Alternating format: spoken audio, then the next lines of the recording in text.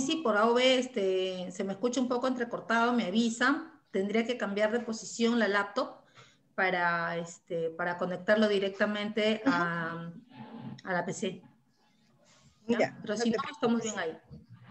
Me avisa nomás.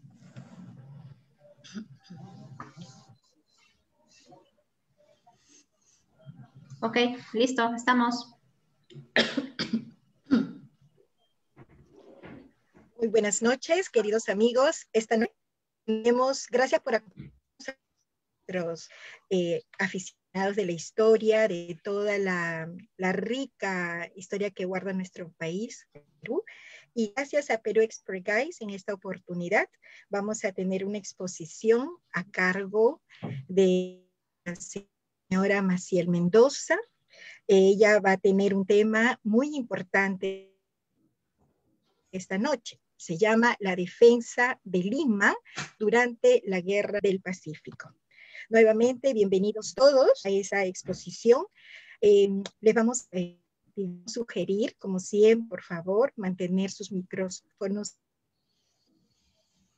cerrados Igualmente, al final de la exposición van a haber preguntas, todas relacionadas al tema. Sabemos que la Guerra del Pacífico es un tema muy amplio, han habido cuatro años de historia de batallas de guerra, pero hoy día vamos a hablar exclusivamente de la defensa de Lima, ¿no? Entonces, al final, todas las preguntas de parte de ustedes con respecto a este tema. Igualmente, si hubiera una interrupción, como ha solido ocurrir, pero una vez en, el inicio de nuestras exposiciones virtuales, por favor, em, retornar, ¿no? A otra vez al mismo enlace de nuestra página del Facebook. Bienvenidos todos. Entonces, vamos a presentar a nuestra expositora. La señorita eh, Maciel Mendoza en turismo, hotelería de patrimonio cultural. Tiene un diplomado de la ENAM en gestión de áreas naturales y tiene 18 años de experiencia como docente universitario en las universidades como San Martín de Porres, la Garcilaso de la Vega, la UAP y UCSS, y 20 años como guía oficial de turismo en inglés, francés e italiano. Entonces, bienvenida Maciel a esta noche. Igualmente, algo me, me, olvidaba, por favor, a todos nuestras eh, oyentes. Sabemos que este equipo de Perú Expert Guys que está compuesto por la señorita Sonia Jiménez. Ella va a estar a cargo de las preguntas del Facebook y como saben, la parte técnica y operativa de compañera Milagros Vargas. La que les habla, Olinda Bravo, les da nuevamente la bienvenida. Maciel, buenas noches. ¿Qué tal, Olinda? ¿Qué tal, chicas? Este, sí, buenas noches. El día de hoy nosotros tenemos un tema muy interesante que es la defensa de Lima durante la Guerra del Pacífico. Sabemos de por sí de que la Guerra del Pacífico es, un, es una parte de nuestra historia muy importante y bastante, bastante amplia. Vamos a tocar el día de hoy esta parte eh, empezando un poco de que la campaña de Lima, ya eh, digamos la invasión de, Lima, empieza en noviembre de 1880, ya que en octubre de, ese año eh, va a fracasar las, digamos, las diplomacias en la Caguana, ¿no? De parte de Estados Unidos, que va a intervenir diplomáticamente para calmar, para cesar la guerra. Esto eh, no se va a poder dar, así que eh, Chile se alista en noviembre de 1880 para llegar a la ciudad de Lima, ¿no? cosa que lo va a hacer en enero de 1881. Dicho esto, eh, veamos quién era el presidente en aquel entonces. Vamos a ver a Nicolás de Piérola. Nicolás de Piérola era civil, era dictador, él le va a dar un golpe de Estado a Mariano Ignacio Prado en diciembre de 1879. Recuerden esa, recuerdan esa famosa historia que eh, Mariano Ignacio Prado se lleva todo el dinero de, de, las personas, del pueblo, y se va a comprar armas y nunca regresa. Bueno, esa historia que nos han contado en el colegio es cierta, pero no de esa forma, ¿no? Em, si bien es cierto, Mariano Ignacio Prado tiene defensores y detractores, dentro de sus defensores eh, nos dicen de que cuando él se va a comprar las armas y cuando ya está para regresar, él encuentra todo el mar del Perú bloqueado. Ya no podía regresar porque si hubiera regresado, los chilenos hubieran tomado todo lo que él había comprado, por un lado. Lo otro también es que eh, don Nicolás de Pierola era enemigo acérrimo y había pues creado toda esta, toda, todas estas ideas ¿no? sobre Mariano Ignacio Prado, que se había llevado la plata, que se había robado, y este, era, casi, era casi un hecho que si Mariano Ignacio Prado llegaba a tocar suelo peruano en medio de la guerra, pues Pierola lo hubiera matado. Entonces, eh, si ustedes desean, por ejemplo, eh, podemos hacer otra exposición con respecto a este tema, pero ahora vamos a centrarnos un poquito en Pierola. Entonces, Pierola eh, le da un golpe de Estado a Mariano Ignacio Prado, quien, había, quien estaba de viaje y que había dejado al vicepresidente, un, un vicepresidente anciano apellidado Puertas, y lo deja a cargo del Estado peruano. Pierola le da un golpe de Estado, con lo cual se vuelve un dictador. Él había sido pues ministro de Hacienda durante el gobierno de José Balta y luego em, Pierola va a tener a su cargo eh, desde diciembre de 1879 ¿no? hasta 1881. Cosa que durante su gobierno fue el famoso, eh, la famosa defensa de Lima, lo que llaman los chilenos la campaña de Lima. Para los chilenos es campaña de Lima, para los peruanos es defensa de Lima. Recuerden que cada país escribe su historia de acuerdo a su conveniencia. Entonces, em, viéndolo como un presidente en medio de una guerra, realmente Pierola fue nefasto fue un caos completo, ¿no? Él no escuchaba eh, los consejos que le daban eh, militares como Villavicencio, Manuel Villavicencio, como Andrés Abelino Cáceres, como Isaac Recabarren, que le aconsejaban de em, seguir la defensa de Lima de otra forma, ¿no? Él hacía caso omiso, ¿no? Y eso fue eh, lo peor que pudimos ver durante este periodo. Entonces, eh, muchos lo catalogan así, ¿no? Como el máximo traidor del Perú, ¿no? Y hacemos una comparación, si Mariano Ignacio Prado tiene detractores y defensores, que los tiene en ambos, Pierola no tiene defensores. Pierola durante el gobierno, en la época de la guerra con Chile, fue un caos total, fue nefasto. Bien, nuestro, nuestra exposición está a manera eh, de un circuito geográfico, ¿no? Vamos a ubicar todos los eh, lugares que tienen que ver con este momento de la defensa de Lima. Y empezamos por el Parque de la Reserva. Y la razón principal es porque en 1881 todos todas aquellas personas que eran reservistas, es decir, que eran civiles, ¿no? Todos los que eran civiles, pues eh, iban al parque de la, iban a este pampón, porque era un pampón, ¿no? Para practicar, digamos, tiro al blanco, para practicar sobre las técnicas, sobre las estrategias, qué iban a hacer, ¿no? Practicar eh, prácticamente, porque todos ellos eran civiles, eh, jamás en su vida habían empuñado un arma, y menos en una guerra. Entonces, todos ellos iban a practicar a este, a este lugar, ¿no? Y uno de estos reservistas va a ser Leguía. Leguía en, eh, tenía 17, 18 años cuando Chile invade el Perú, así que él va a participar activamente en el reducto número uno. Cuando él llega a ser presidente, va a inaugurar este parque y le va a llamar el Parque de la Reserva, ¿no? Y lo va a inaugurar el 19 de febrero de 1929. Y como ustedes saben, eh, nuestro amigo Leguía era muy egocentrista, y tal es así que el 19 de febrero era cumpleaños de Leguía, ¿no? Como para recordar qué día era su cumpleaños. Bien, este lugar va a ser diseñado al estilo de los jardines eh, británicos. Va a ser contratado Claude Saud, ¿no? que era un francés, y pues este Daniel Casafranca, José de Sabogal, entre otros, ¿no? Van a trabajar este eh, parque. Mm, lo que sí vemos es que este parque se ha desvirtuado porque realmente eh, la gente ya no lo conoce como el parque de la reserva, ¿no? Sino lo conocen como, eh, como el parque de las aguas. Cosa que digamos que deberíamos recuperar el nombre original. El parque de la reserva, porque es una parte importante de la historia peruana si seguimos con este recorrido, pues vamos a ver que hay un monumento muy cerca del Parque de la Reserva, hay un monumento en honor a Abel Versace du Petit-Ours, ¿no?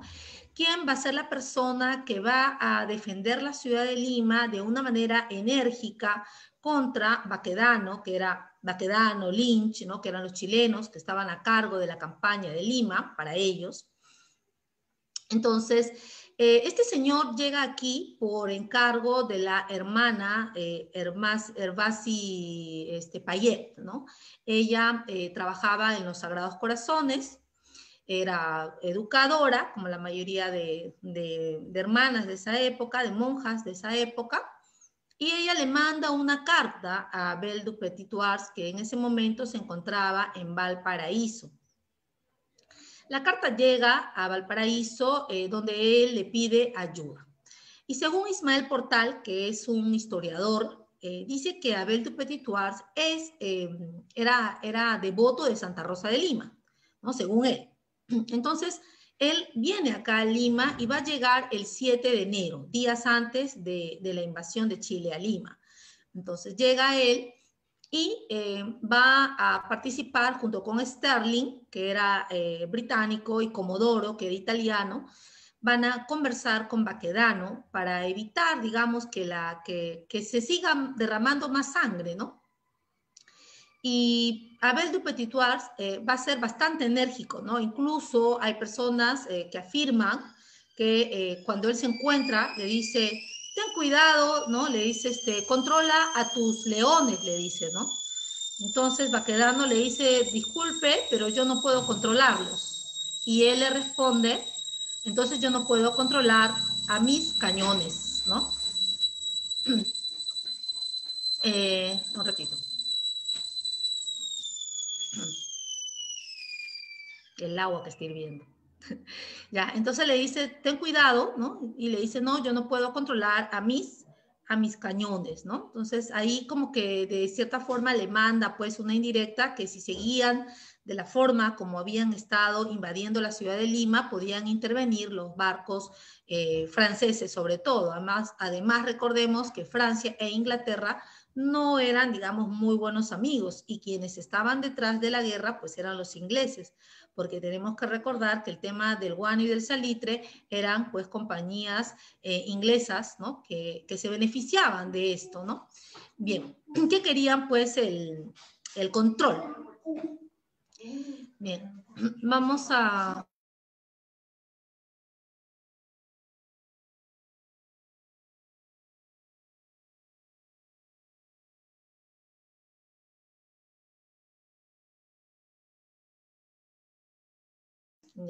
Bueno, chicos, entonces, em, entonces, bueno, hay un tema, ¿no? Ahí con Abel du Petit eh, cuando él muere en 1890, eh, las mujeres, las damas de Lima, eh, van a reunir dinero y fondos para comprar una fotografía de él para poder más adelante hacer algún tipo de monumento, ¿no? En 1890 las mujeres se van a reunir porque Petit él eh, a las mujeres y a, las a los niños trató de ubicarlos y guardarlos a buen recaudo. Eh, muchos se fueron a Ancón, ¿no? La creminata de Lima se fue a Ancón, otros se escondieron en las casas de las, em, de las embajadas, de los embajadores, de los extranjeros porque Chile había prometido ¿no? que no iba a tocar la casa de los extranjeros, que iba a respetar las propiedades de los extranjeros. Entonces, eh, muchos se fueron a ese lugar, otros se fueron a conventos, a monasterios.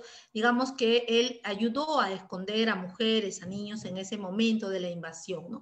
Todo esto se recuerda, así que se manda a comprar una fotografía para más adelante mandarle a, mandarle a hacer un monumento. ¿no? Y el monumento se va a hacer 1824, 1900, perdón, 1924, que está, eh, como ustedes saben, en la avenida Petitoires, ¿no? que lleva su nombre, donde vemos aquí a, a Petitoir con una mujer que vendría a representar la ciudad de Lima y ella le está entregando un ramo de flores, un ramo de rosas en señal de amistad a, este, a Abel du Petitoires, ¿no?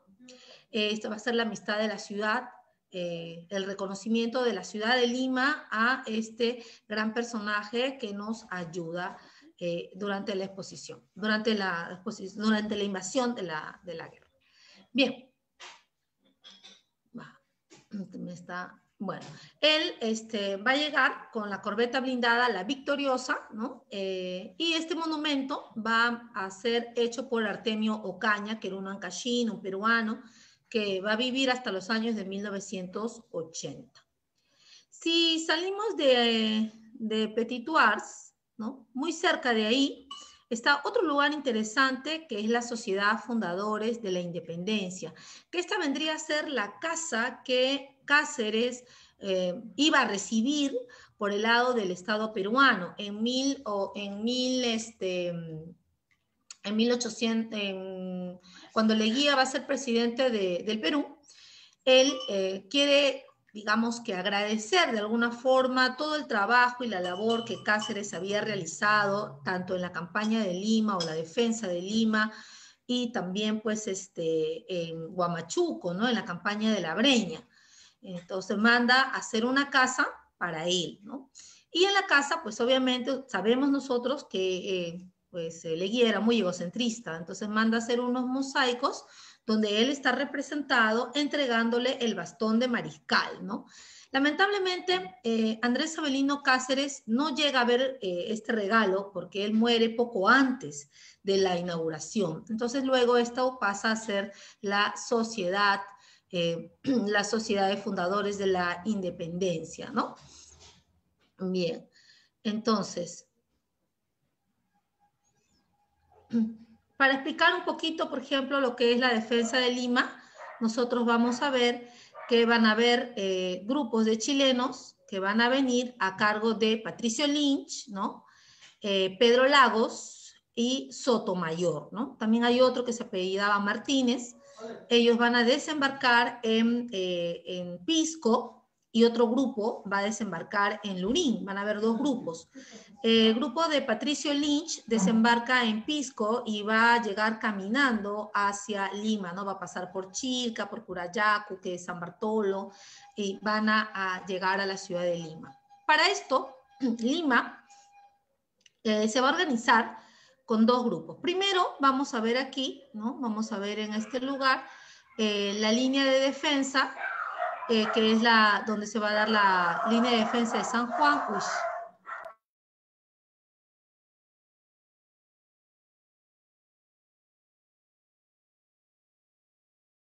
Ya.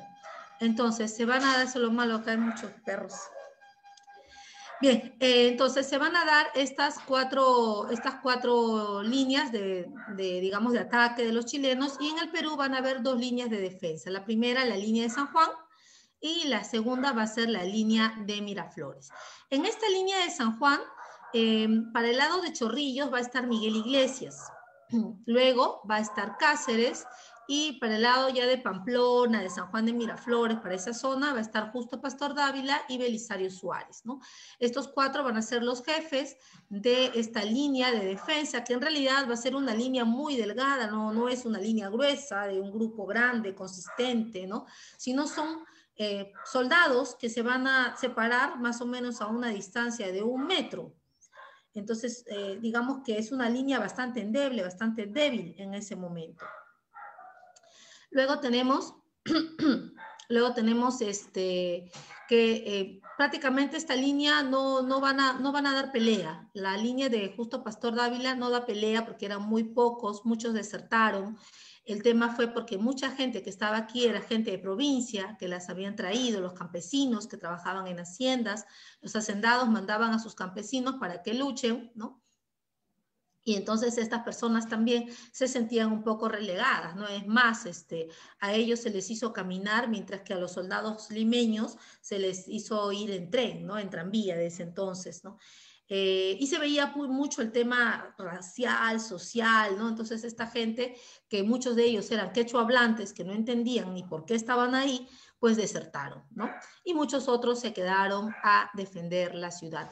Lo cierto es que en esta zona no se da pelea, el 13 de, 13 de enero, Cáceres se va a replegar hacia Miraflores porque ve que no iba a poder este, contener, ¿no? Y que podía morir.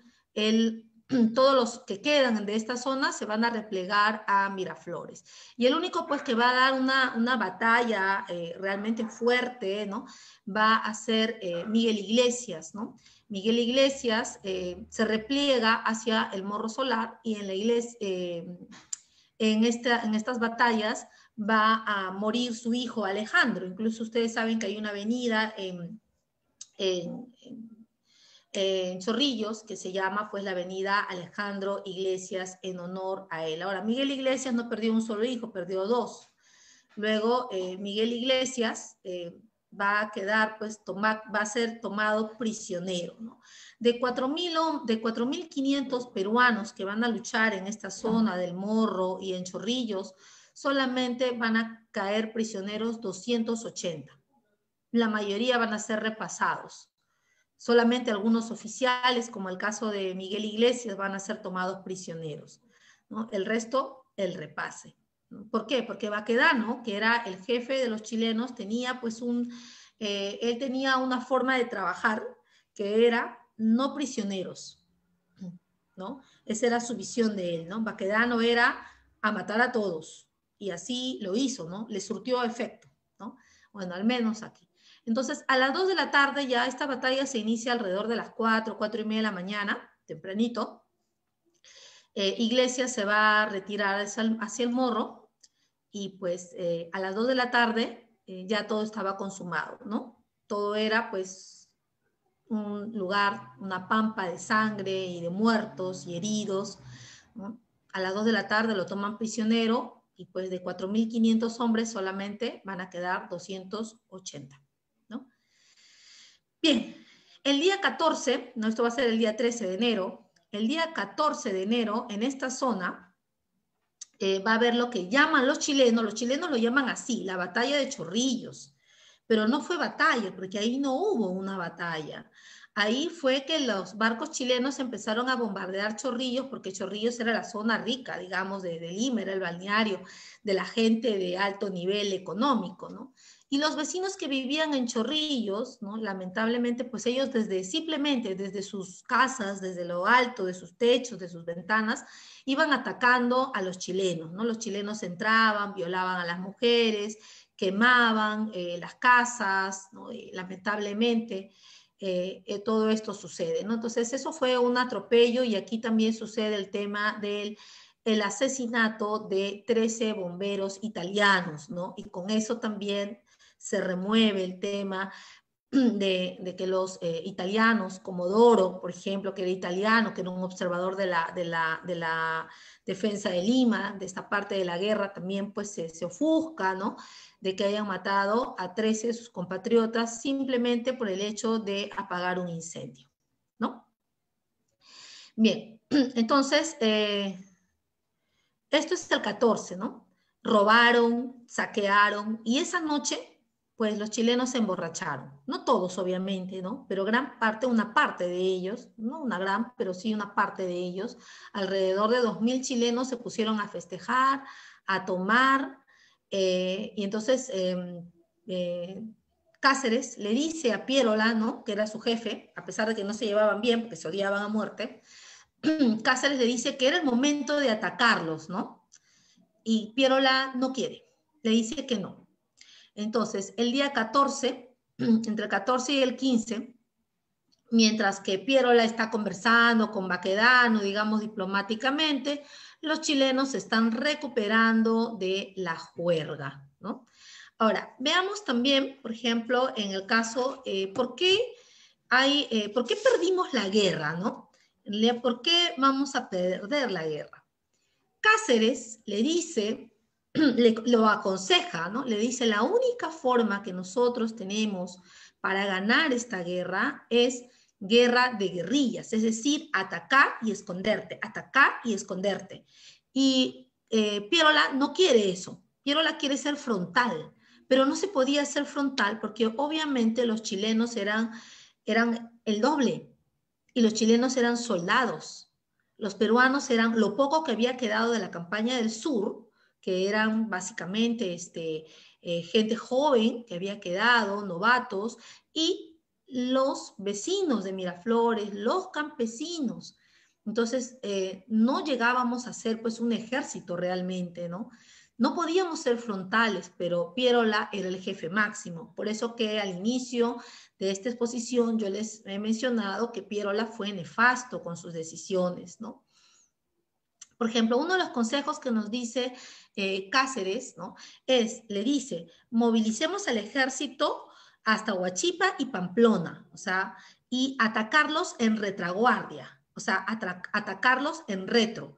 O sea, los chilenos estaban avanzando de San Juan de Miraflores, ¿no? A Miraflores, y lo que ellos decían era que cuando estaban entre, en ese camino, ellos ir por Pamplona, ir por Huachipa, por la otra zona, por otro sendero, y atacarlos en retro.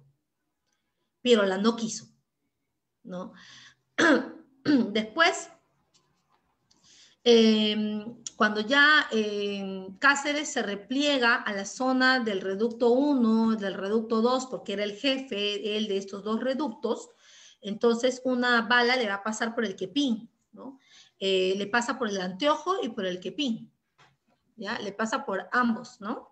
Y a razón de esto es que este, él queda un poco herido, pero no, no va a ser mortal. Él va a seguir luchando a pesar de esto. Lo que sí, eh, lo, que sí lo va a herir ¿no? y que va, va, a dejar de pelear va a ser que le pasa una bala por la pierna. Y esto hace de que él pues se tenga que poner a buen recaudo y se va pues a, a la iglesia de San Pedro, donde va a ser escondido y posteriormente va a ir hacia la campaña de la Breña para continuar con su, para continuar con su, con su campaña, eh, ya que él no se rendía, ¿no? En sí, eh, en sus memorias, ¿no? Cáceres, él no, él no pensaba que iba a ganar la guerra. Lo que él no quería era rendirse de esa forma, rendirse incondicionalmente, que era lo que Baquedano quería. Baquedano no solamente se conformaba con que nos rindiéramos, Baquedano quería que nos rindiéramos incondicionalmente. ¿Ya? Bien, eh, en este momento de, la defensa de Lima, el Estado deja de pagar a sus servidores públicos. No hay plata, no hay dinero. Entonces va a haber un tema de escasez, va a haber un tema de hambruna, no va a haber carbón, ¿no? Eh, va a haber una devaluación y este, Pierola también va a hacer varios cambios, ¿no? Va a hacer varios cambios en plena guerra, eh, cosa que no va a ser favorable, ¿no?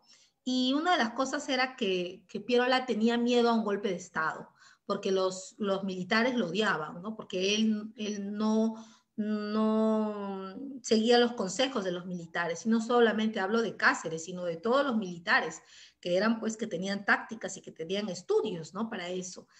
Entonces él tenía miedo de un golpe de Estado. Así que eh, los chilenos también van a tener la ayuda de los chinos, los chinos se van a, los chinos van a ayudar, se van a unir a los batallones chilenos en Cañete, ¿no? ¿Por qué? Porque los chinos también hay que recordar que habían sido humillados, traídos al Perú como los chinos culíes, ¿no? Entonces había todo ese tema. Bien, vamos a ver la siguiente diapositiva, ¿no? Ah, y otra cosa, por ejemplo, la distancia que hay entre esta línea de defensa y Miraflores son más o menos 10 kilómetros. No es mucho mejor dicho, es mucho, 10 kilómetros, o sea, para que Cáceres se vaya a replegar allá, pues tenía que caminar bastante. Entonces, lo ideal hubiera sido, por ejemplo, otra de las cosas que también se le aconsejó a Pierola, que estas dos líneas de defensa fueran más cortas, fueran más cercanas, no tan largas, no tan anchas, no tan abiertas, ¿no? Y bueno, entonces, en la parte de los reductos, eh, se van a hacer, se van a formar 10 reductos de los cuales eh, solo tres van a entrar en combate. El cuarto reducto intenta, pero lamentablemente el cuarto y el quinto van a ser atacados por retro, o sea, van a ser atacados por retaguardia de los chilenos y van a ser impedidos de ir a ayudar a los otros tres reductos. Y los otros tres reductos van a estar luchando, ¿no? Esperando los refuerzos. Y los otros cinco reductos, que también podían haber ido a ayudar a estos tres reductos, Pierole les manda la orden de que se regresen a su casa, porque ya eh, habíamos perdido y era derramar más sangre, este, desperdiciar más, personas, más seres humanos, así que él les da la orden de que no vayan, ¿no? Y que se queden y que regresen. Entonces solamente van a ser los tres reductos que van a dar pelea, el reducto 4 y el reducto 5 van a ser atacados por la retaguardia, e impedidos de atacar, pues, este, de apoyar a los otros tres, ¿no? Y los otros tres reductos estaban esperando la llegada de refuerzos, la llegada de municiones. Lamentablemente, eso no se dio. Bien, eh, se han escrito muchos libros, ¿no? Eh, y uno de ellos es, pues, el de Juan Carlos Flores Granda, y Ernesto Linares Mascaro, que nos hablan de esta última resistencia, ¿no? Eh, la batalla de San Juan, ¿no? dada momento a momento, de este, y sobre todo eh, el tema del morro, que va a ser el lugar pues, donde se va a dar eh, estas, esta, esta sangrienta pelea, que prácticamente fue una pelea ya por honor, ¿no? Bien. Aquí está, por ejemplo, el monumento al soldado desconocido, que va a ser inaugurado en 1922 durante el gobierno de, eh, de Leguía.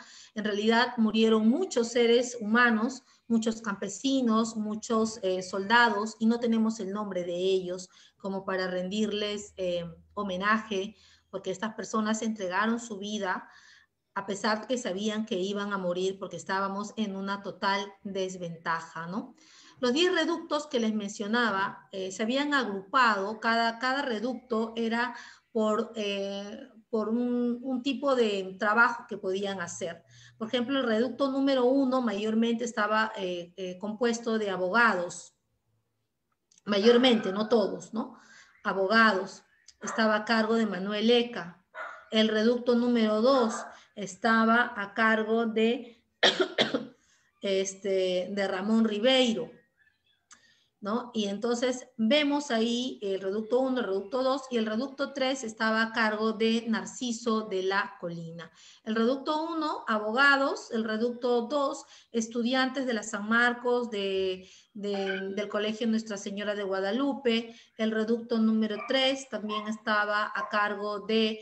Em, de, este, de Narciso de la Colina, que él era ingeniero, y en este caso él estaba al, mando de comerciantes, ¿no? Y así el reducto 4 y el reducto 5 se iban agrupando de acuerdo a alguna profesión o algún oficio similar entre ellos, ¿no? Bien. Ahora, em, los reductos, según Rudolf, Rudolf de Lis, ¿no? Recuerden que eh, Chile tenía el dinero y el apoyo, ¿no? Eh, sobre todo de Inglaterra, ¿no? Aunque ellos niegan, ellos dicen que Inglaterra no los ayudó, que no fue así, pero bueno. En realidad Inglaterra estaba como decir, a ver quién gana, quién pierde, ¿no? A ver, si tú ganas, me voy con... Él, se iba a ganador, pues, ¿no?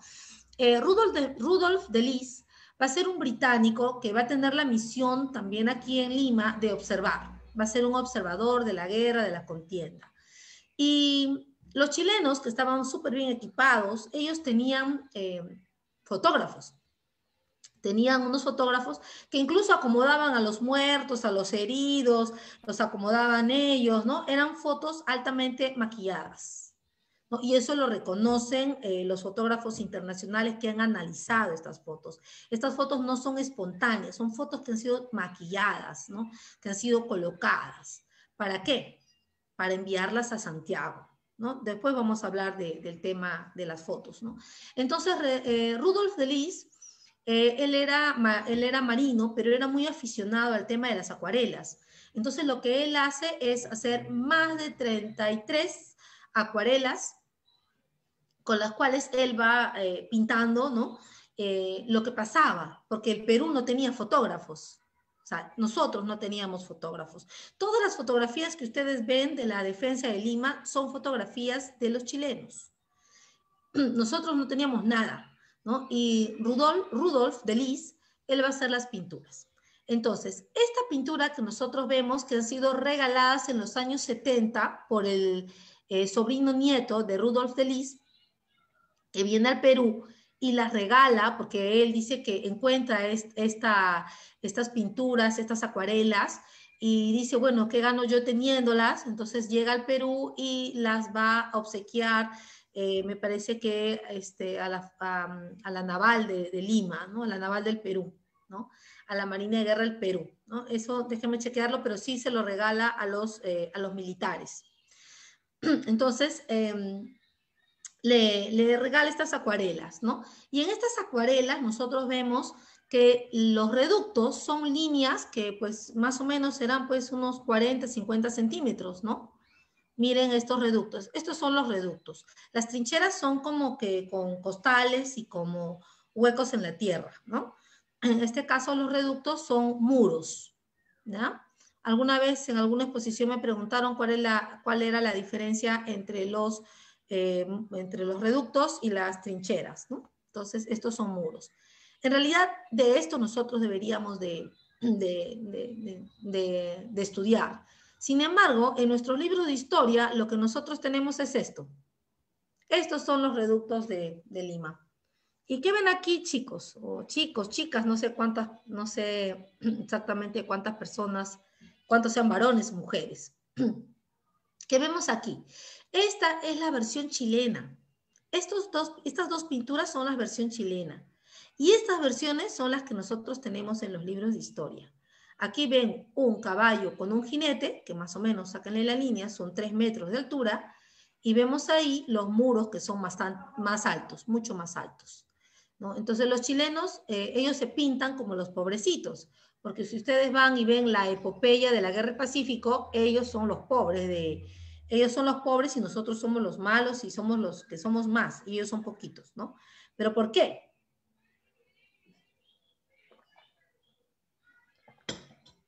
porque los chilenos de alguna forma tienen que justificar la invasión a Lima.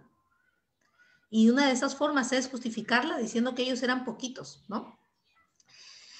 Entonces, eh, vemos acá los reductos, según la versión chilena, son pues tremendos muros, más altos que el Real Felipe, ¿no? Y que nosotros estábamos arriba en los muros y que ellos estaban abajo, ¿no? Y que de arriba nosotros le atacábamos. Bien. Ya. Dicho sea esto, vamos a ver los tres reductos que van a entrar en pelea. ¿no? Eh, el reducto número 3 es el reducto, em, como les dije, van a entrar cuatro, pero el cuarto no, no mucho en realidad porque va a ser atacado por retro. Pero el reducto número 3 va a estar a cargo de Narciso de la Colina. Narciso de la Colina eh, va a ser seguido por Natalio Sánchez, ¿no? Natalio Sánchez es un ex diputado y ambos van a morir en combate, ¿no? Él va a ser este diputado, ¿no? Lo que llamamos hoy nosotros congresista. ¿Ustedes creen que un ex congresista va a ir a luchar hoy día en, una guerra si tuviésemos que enfrentarnos a una guerra, un ex congresista? No. Pero en ese tiempo tenemos que sacar a flote el valor de las personas, ¿no? De las personas que sabían que iban a perder, pero igual lucharon. Natalio Sánchez el exdiputado, eh, ambos mueren en el, en, el, eh, en el reducto número 3.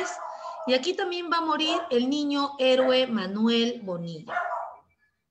Acá tenemos a Narciso de la Colina, que él era ingeniero, era un hombre rico, Narciso de la Colina no era pobre. Él tranquilamente podía haber agarrado a toda su familia, tomar un barco, irse a Europa y se acabó y regresar después de la, después de la guerra, como hicieron muchas familias, ¿no? Que se fueron, ¿no? Pero Narciso de la Colina se queda a defender la ciudad. Era ingeniero, tenía, dos, tenía una hija, ¿no? una hija y su esposa y un hijo varón, ¿no? Eh, él eh, era civil, no, no, era, no tenía nada que ver con el tema militar, sin embargo, él va a, hacer, eh, va a agarrar el, un nivel de, militar, me, parece que era teniente o coronel, coronel, ¿ya? Y este, va a estar herido en la cabeza, le va a rozar una, una bala, ¿no? Herido y todo. Él eh, se levanta y comienza pues a arengar a su, a su grupo, a su batallón, el batallón número 6, y lamentablemente una bala le atraviesa el corazón o cerca del corazón, Narciso de la Colina cae, se desploma, fallece, ¿no? Y pues muchas versiones cuentan que el niño Manuel Bonilla, que era, que era el niño guadalupano, que era el que repartía las municiones, esa era su misión, ese era su trabajo, un niño de 13 años en medio de una guerra, hay que ser muy valiente, ¿ah?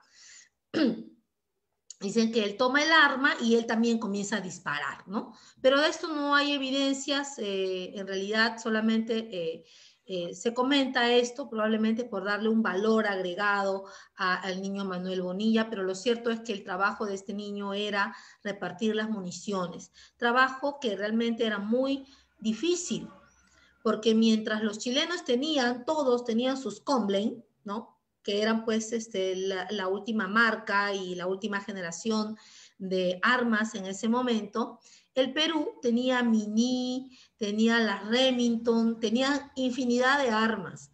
¿Por qué? Porque muchas armas eh, habían sido de civiles. O sea, si yo era un civil, yo iba y regalaba las armas a, un, este, a los militares, ¿no?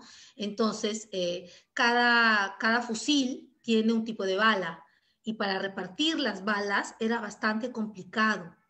Lo que más habían eran las mini, pero habían pues otras, otras balas que eran las Remington, ¿no? Unas eran de avancarga, otras eran de retrocarga, entonces era complicado también para ellos repartir las municiones. Entonces este es un cuadro de Lepiani, que va a ser un pintor peruano que pos la guerra se va a basar en las memorias y va a hacer estos cuadros. Son varios. Veo dos mensajes en el chat.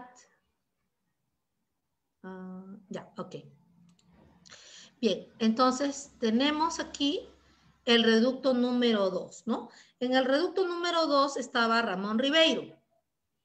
Ramón Ribeiro era este, este, Ramón Ribeiro es el abuelo de Julio Ramón Ribeiro. Acuérdense del escritor peruano que escribe los merengues, ¿no?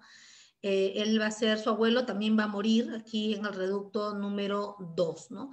Y aquí hay un museo en honor a, Andrés Avelino Cáceres, ¿no? Quien va a ser el jefe del reducto número 1 y el reducto número 2, ¿no? Eh, él va, digamos, él va a ser el estratega en ese, eh, en ese momento, ¿no?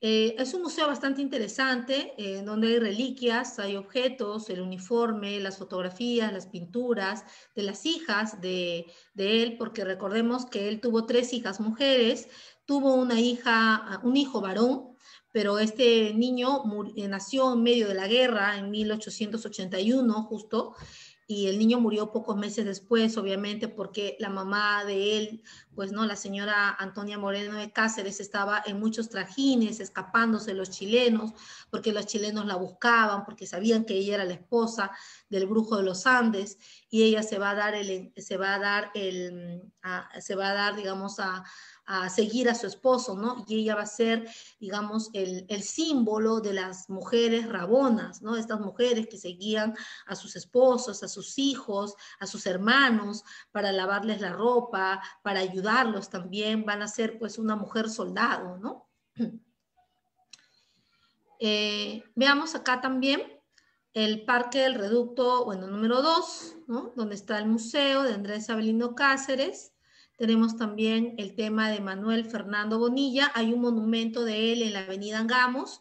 Hay una calle, hay un colegio, hay un estadio que lleva, en Miraflores, que lleva el nombre de este niño que tiene 13 años de edad, encargado de repartir las municiones, y dentro del Colegio Guadalupe también hay un pequeño espacio donde hay un monumento y se le rinden honores a este niño guadalupano. Pero no solamente podemos hablar de este niño, Manuel Bonilla, sino también hay otros niños. Alejandro Tirado era otro niño guadalupano.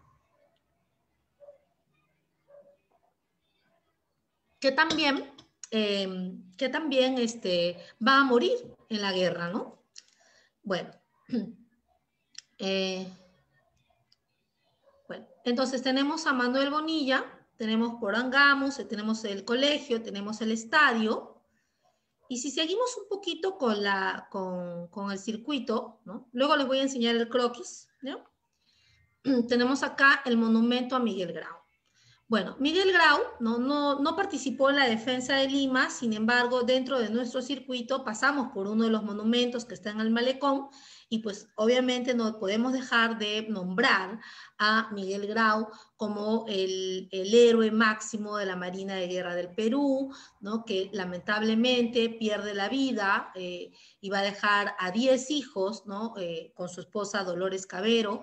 Él era hijo de un marino colombiano, eh, su madre peruana nace en Piura y, va a tener una infancia bastante dolorosa ya que él y sus hermanos van a crecer sin amor materno, ¿no? Simplemente van a crecer con el padre, quien los va a encaminar al tema marítimo. Llega a ser, em, llega a ser este, em, em, congresista, no, diputado. Llega a ser diputado por Paita, ¿no? Eh, incluso él podría haberse negado a participar en la guerra, sin embargo, él sale de la guerra, sale de su casa de, del centro de Lima y se va pues con destino hacia, eh, hacia el sur y no vuelve, ¿no? Como sabemos, el 8 de octubre él fallece, ¿no? Bien. Bueno, el reducto número uno está entre lo que es la quebrada de Armendaris, lo que conocemos en Miraflores, hasta Larcomar, ¿no? En estos puntos vamos a ver nosotros que en, esta zona va a estar el reducto número uno, ¿no? Estaba a cargo de Manuel Leca, eh, personajes que van a participar en este reducto número uno y que lamentablemente van a morir, ¿no? Eh, van a ser, por ejemplo, Juan de Fanning, ¿no? que vamos a hablar de él poquito después. Este es, otra, este es, este es el reducto 1 según Rudolf de Lis, ¿no? este británico, este, esta es la acuarela de él, ¿no? que nos pinta cómo era el reducto número 1, esta es la quebrada de Armendaris, ¿no? Eh, los chilenos estaban para el lado de Barranco y los peruanos estaban para el lado de Miraflores, en el reducto 1. Bueno, Em, en su mayoría eran comerciantes y eh, una de las personas destacadas va a ser Juan de Fanning, que va a ser hijo legítimo de un norteamericano casado con una peruana. Em, él va a participar en algunas actividades en la parte, en la parte del sur, ¿ya? pero por un tema de salud va a tener que regresar a Lima. Eh, regresa a Lima y va a estar a cargo de la guarnición de la Marina, eh, quienes van a pelear hasta el último momento por la defensa de Lima en el reducto número uno. Vamos aquí.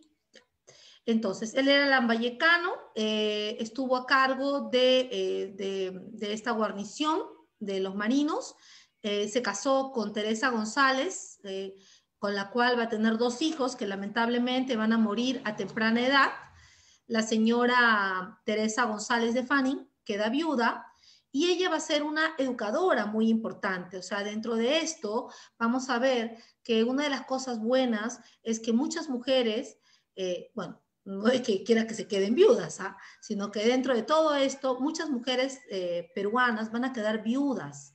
Y, el Estado no va a poder mandarles una pensión como viudas de, de militares. Entonces estas mujeres se ven obligadas a trabajar y estas mujeres eran pues de una élite, ¿no? Eran mujeres de élite o de clase media, quienes en su mayoría sabían leer y escribir. Y estas mujeres se van a dedicar a educar a las mujeres. Las mujeres habían quedado, casi Lima y el Perú estaba llena de mujeres, ¿no? No habían hombres, todos habían, o casi la mayoría habían muerto en guerra.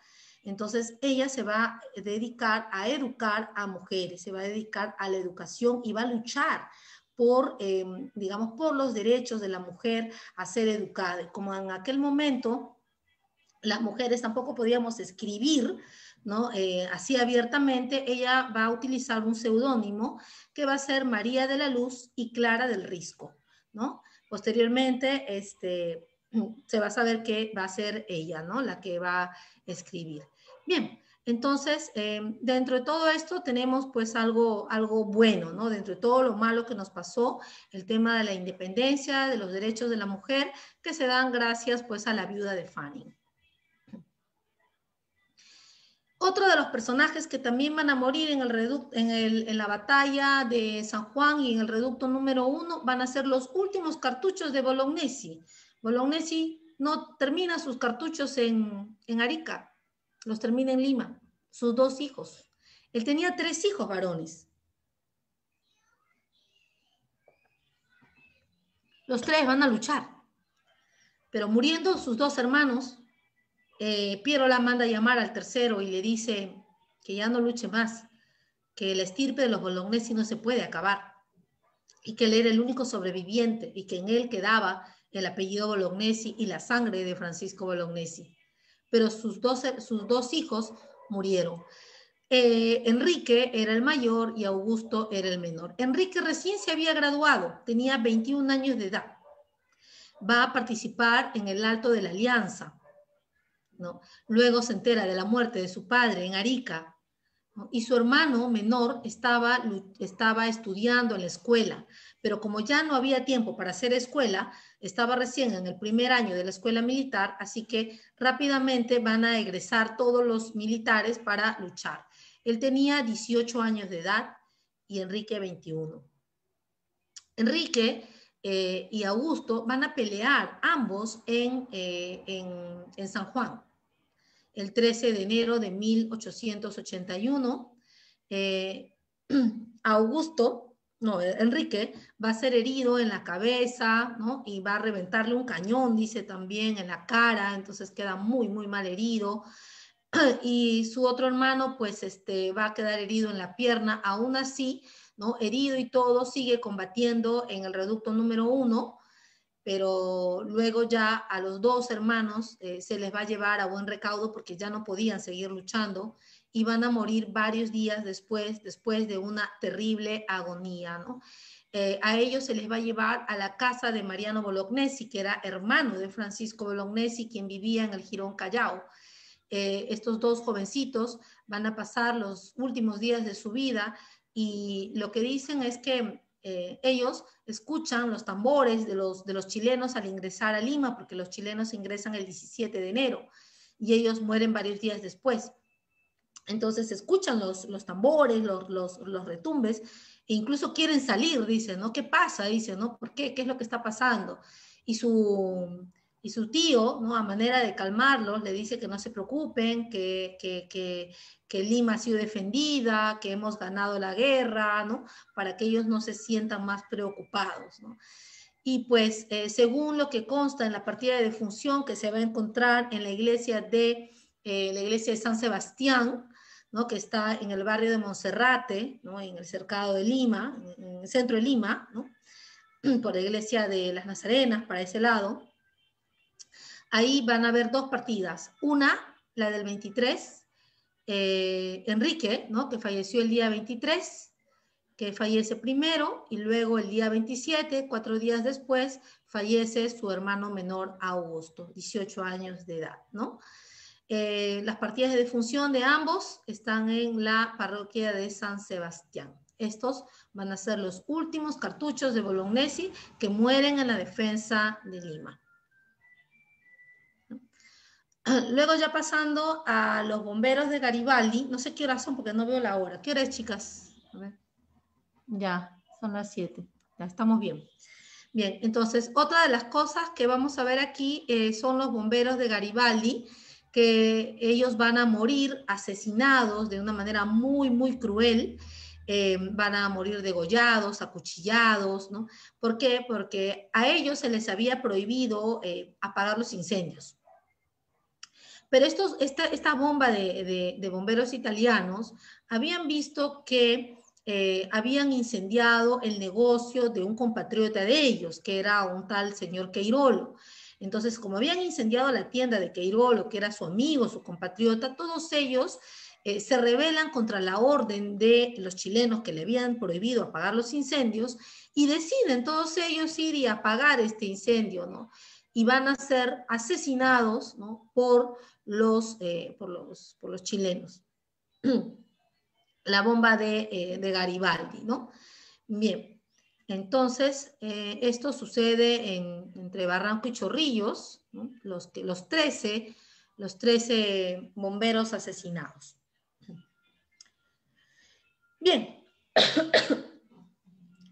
Vamos a encontrar también el soldado desconocido chileno que vemos acá, este soldado va a ser encontrado en el año de 1998.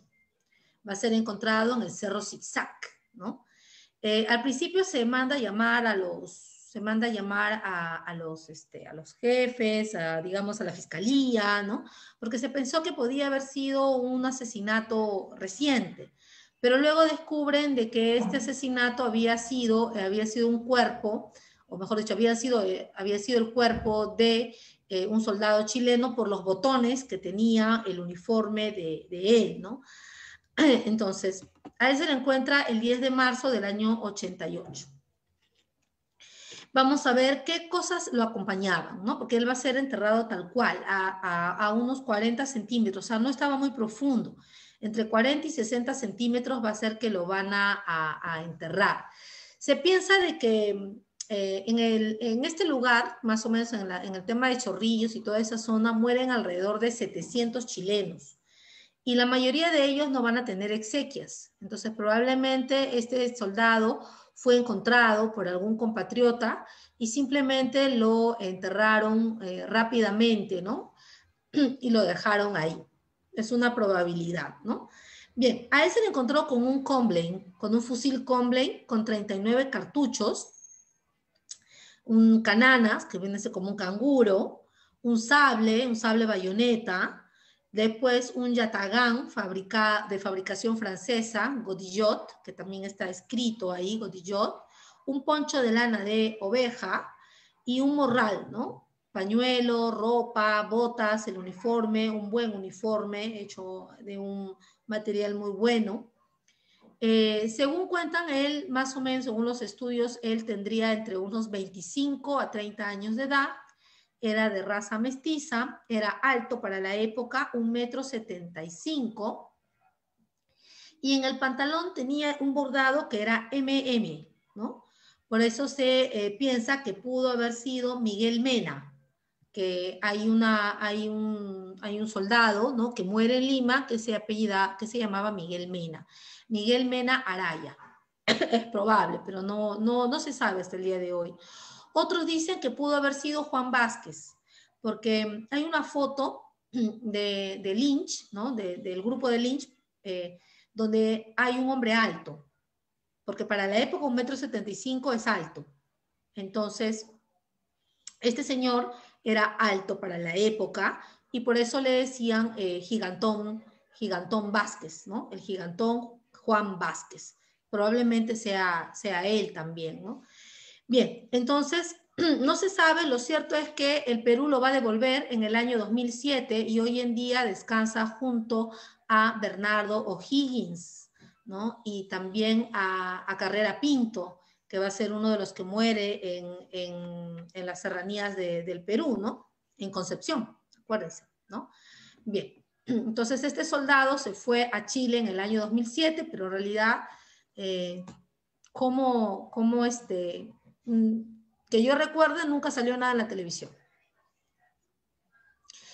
Hay dos soldados peruanos, eh, dos soldados peruanos. Uno es el soldado de Surco, porque fue encontrado en la zona de Surco, y la otra es este, el soldado eh, desconocido que fue encontrado en el cerro El Gramonal. El Cerro Gramonal también está en Chorrillos, está muy cerca al Cerro Zigzag. Y ustedes me dirán, ¿y dónde queda el Cerro Zigzag? El Cerro Zigzag es ese cerrito que está en, el, la policía, en, el cementerio de la policía, hay un cerro que tiene un Cristo, que seguramente ustedes lo han visto. Ya, ese es el Cerro Zigzag. Al costadito hay otro cerrito que se llama el Cerro Gramonal. Ahí se va a encontrar a este muchacho que más o menos tenía 16 años de edad al cual eh, lo van a atravesar con una bayoneta en el estómago, pero lo que lo mata es pues la bala, eh, la bala en la cabeza, ¿no? lamentablemente.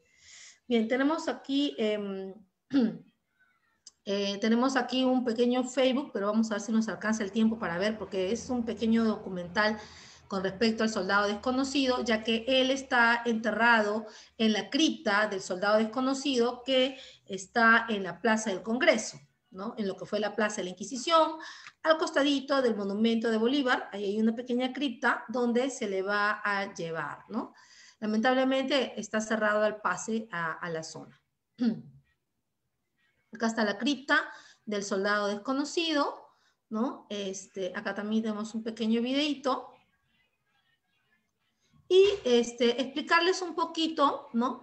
Cómo es este recorrido. Nosotros empezamos del Parque de la Reserva, hacemos Parque de la Reserva, eh, seguimos del parque hacia el monumento de, de Petit Arts, seguimos también al monumento, a la casa de la Sociedad de Fundadores de los Fundadores de la Independencia, ¿no? Estos tres puntos los vamos a ver caminando y luego nos vamos a ir al reducto 1, al reducto 3, al reducto 2, al reducto 2, y luego vamos por la Avenida del Ejército, por Angamos y Avenida del Ejército, para ir a ver el monumento y el estadio en honor a Manuel Bonilla.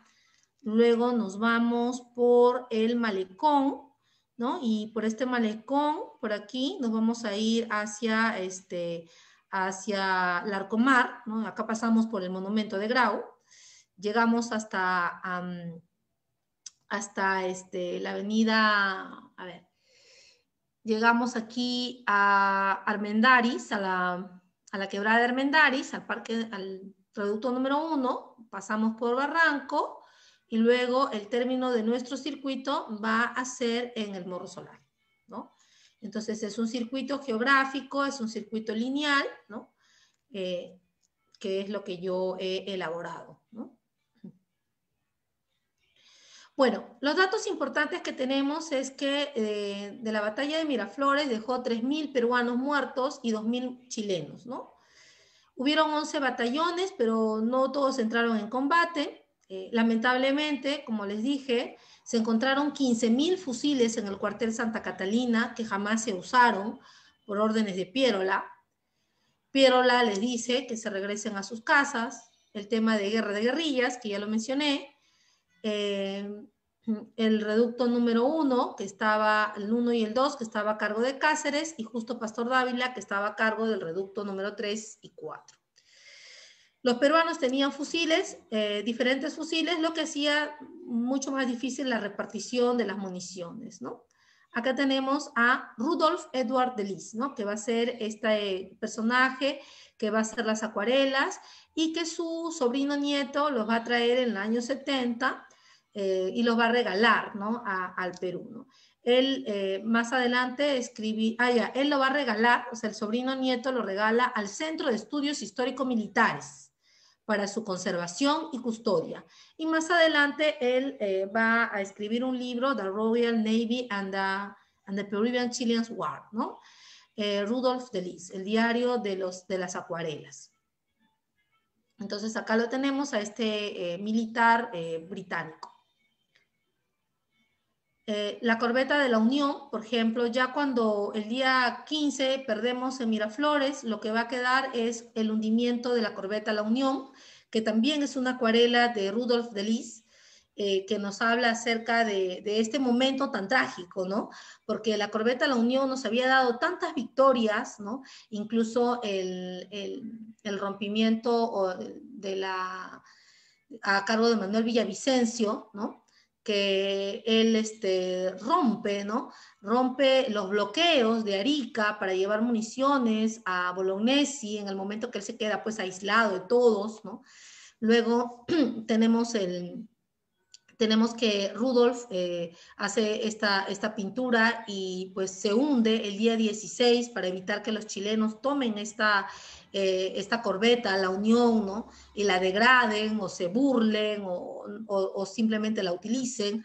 Y lo único que queda va a ser el, el palo mayor, y este palo mayor lo tenemos hoy en la escuela naval, ¿no? E incluso hay una puerta que se llama la Puerta la Unión y ustedes al ingresar van a ver lo único que nos queda de, este, de esta corbeta, ¿no? de la corbeta La Unión, que nos dio muchas victorias y que lamentablemente pues tuvimos que hundir el 16 de enero de 1881. Los cañones, ¿no? Los cañones de, de esta corbeta fueron llevados acá fueron llevados al Cerro El Pino y el Cerro San Cristóbal. Ustedes deben haber visto algunas fotografías del Cerro San Cristóbal con unos cañones. Y era porque los chilenos siempre habían atacado en retro. Por ejemplo, para atacar en Tacna, ellos desembarcaron en Hilo y de Hilo fueron eh, en retro a Tacna. Entonces, eh, Piero la pensó de que, eh, de que los chilenos iban a desembarcar en Ancón.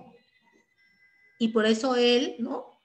según su estrategia, colocó todo lo que le sacó a los barcos que quedaban, los puso en, en los cerros, ¿no? para poder, digamos, este, atacar o defender la ciudad de Lima. Pero esto no ocurre porque los chilenos no, no desembarcan en Ancón, sino van a desembarcar pues, en Pisco, en Lurín.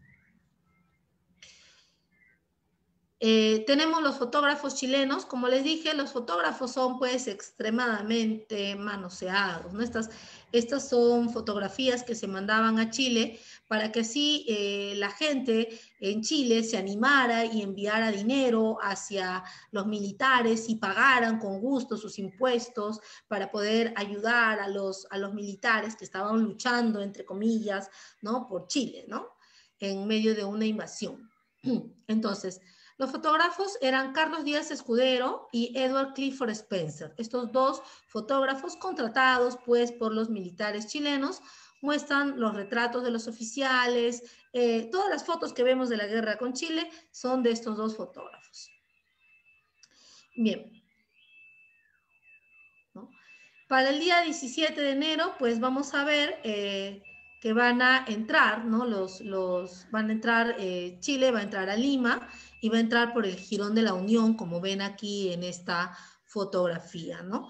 Van a entrar pacíficamente porque este, estaban ya observados por los extranjeros, como Petitoires, como Comodoro, que ya los tenía aquí porque había matado a sus compatriotas, por los ingleses, y porque Rufino Torrico, que en ese momento era el alcalde de Lima, le había dicho que ya no iban a continuar las peleas, que entren a Lima, pero pacíficamente, ¿no? Iba quedando, pues acepta, digamos, entre comillas, porque también sentía la presión de otros países en ya no seguir atacando y saqueando la ciudad de Lima, ¿no? Del centro histórico.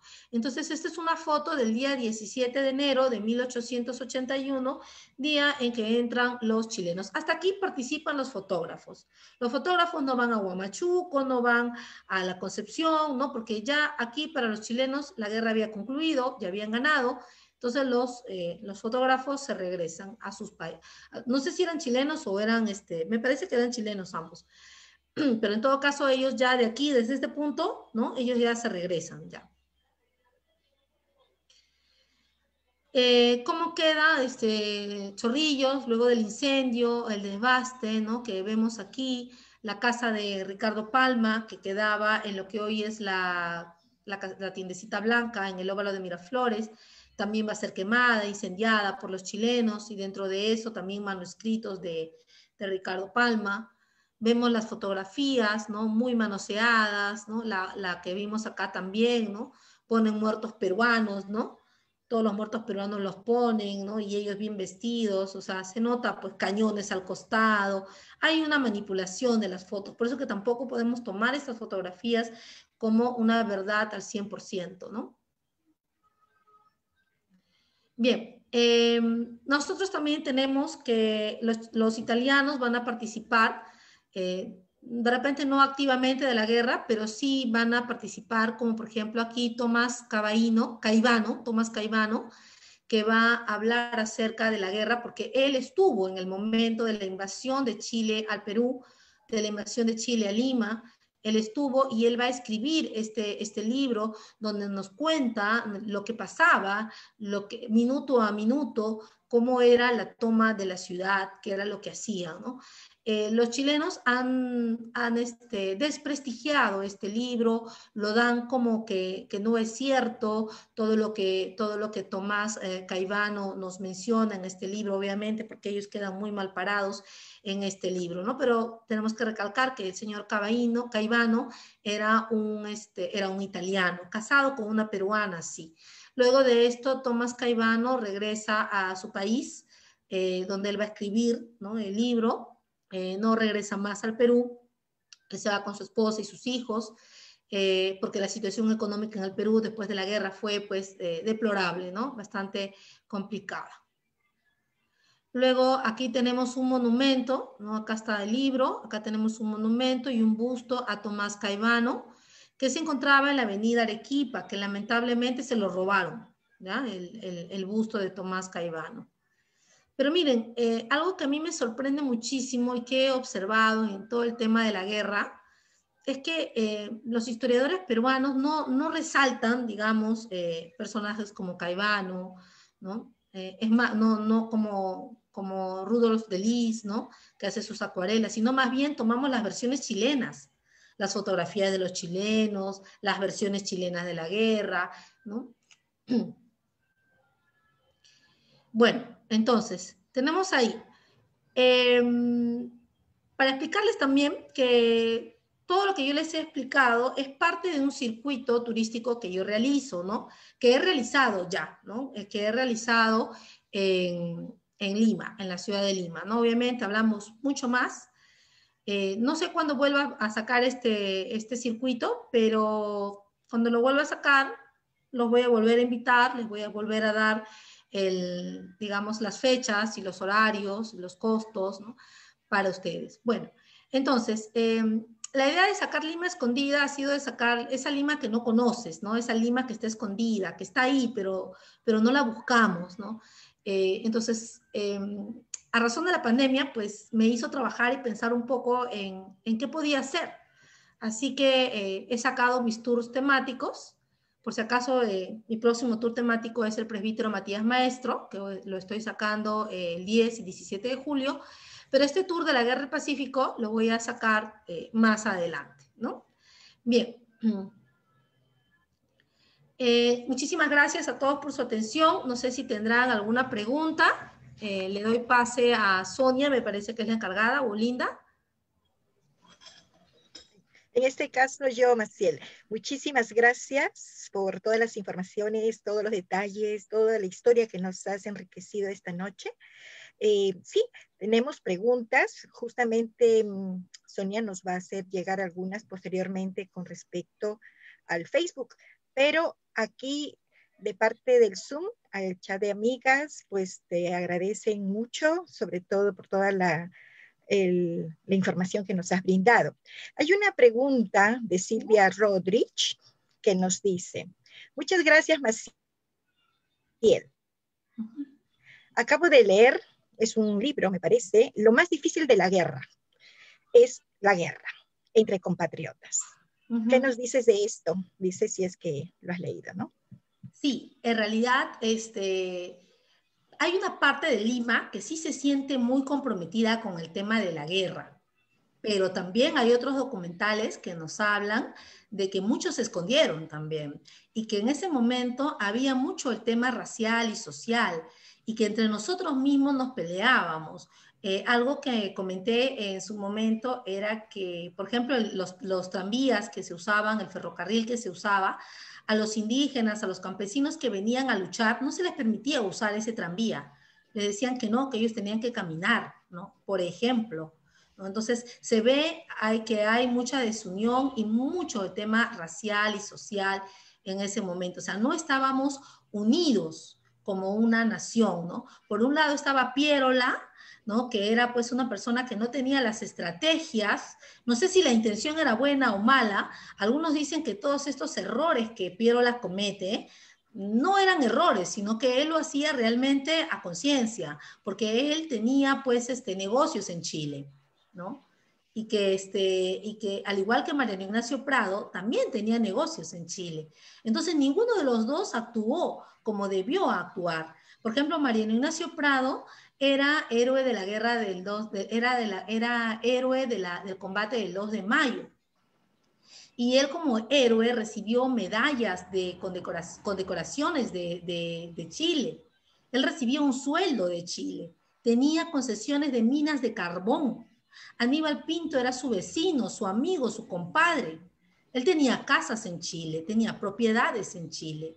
Entonces, él, cuando inicia la guerra, él como que diplomáticamente trata de ayudar, ¿no? Mientras que Bolivia le dice, Bolivia, o sea, Bolivia nos pide a nosotros que ayudemos. Y aquí, por ejemplo, quiero recalcar algo que, por ejemplo, Bolivia le dice a, Bolivia le dice a, este, a Perú en enero de 1879, le dice que ya hay barcos espías en mar boliviano y que activemos el pacto, pero Perú no lo activa.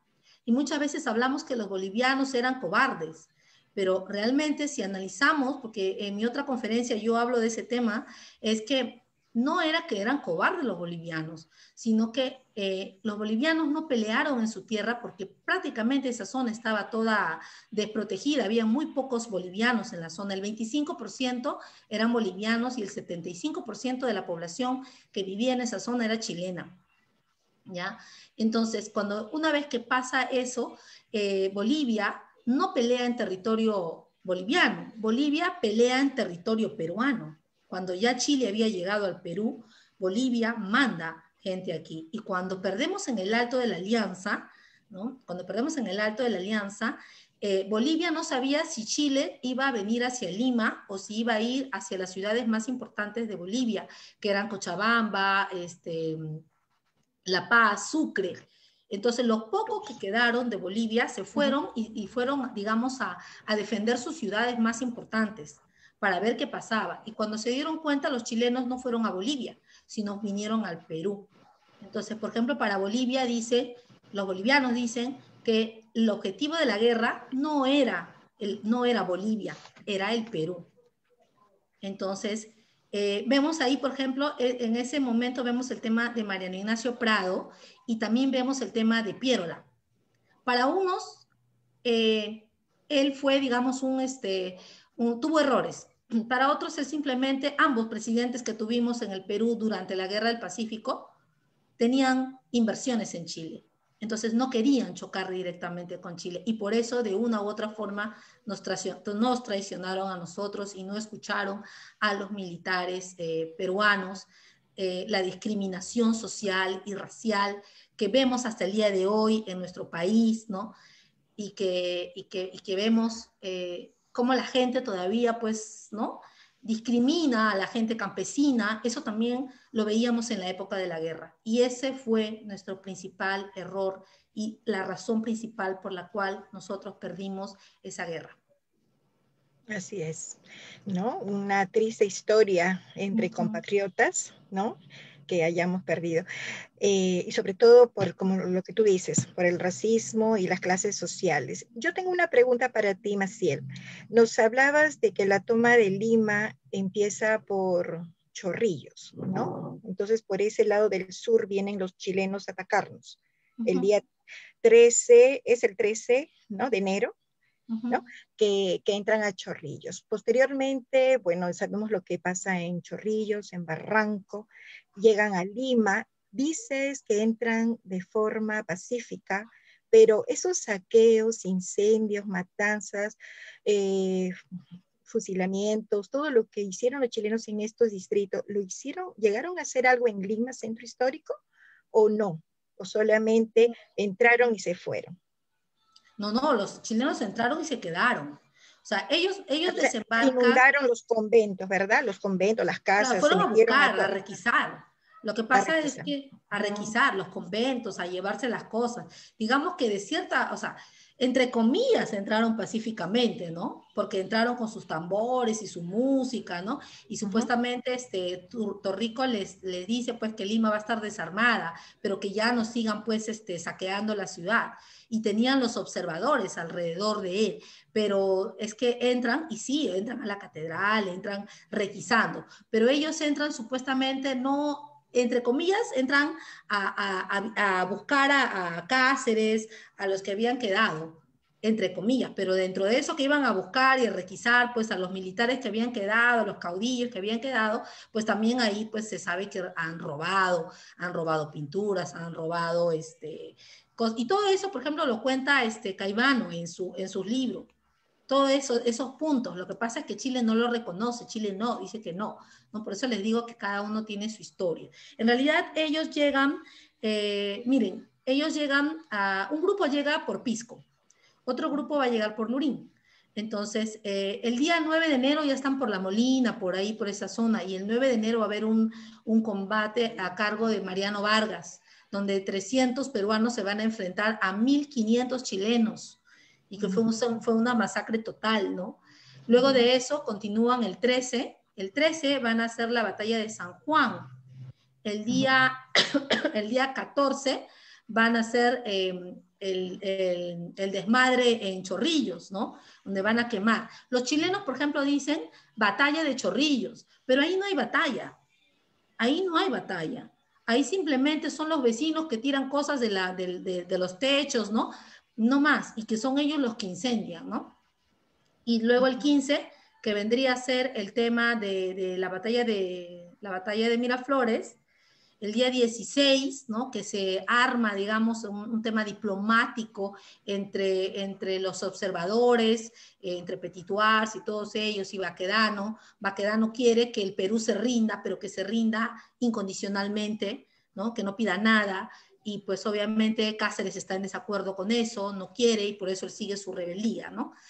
Entonces llega eh, el, día 15, el día 16, se hunde la Unión, y supuestamente, entre comillas, pues van a entrar pacíficamente. Pero como te digo, entre comillas entran pacíficamente, pero cuando entran a requisar a, las iglesias, a todo eso, también hay saqueos y hay robos.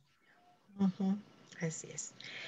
Eh, Maciel, pasar a las preguntas de que nos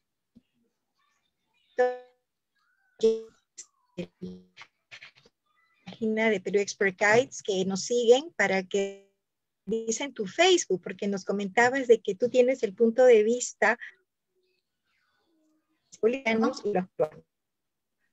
No. No te de acuerdo a la historia. No, no te entendí, se te entendí entrecortado. Hola. Ah, ya, discúlpame. No, con respecto a la página de Facebook del punto de vista de la historia creo que se va la señal. Sí, se va la señal, Linda, no te escucho. ¿Sí? ¿Me, escuchaste, Espacial? Ah, te escucho entrecortado. Ya, a ver. Sí, ahí estamos, creo. No, querías, quería que comentes con respecto a tu página del Facebook para que revisen las personas que tengan un poquito más de interés con respecto al punto de ah. vista de los tres países involucrados en la guerra.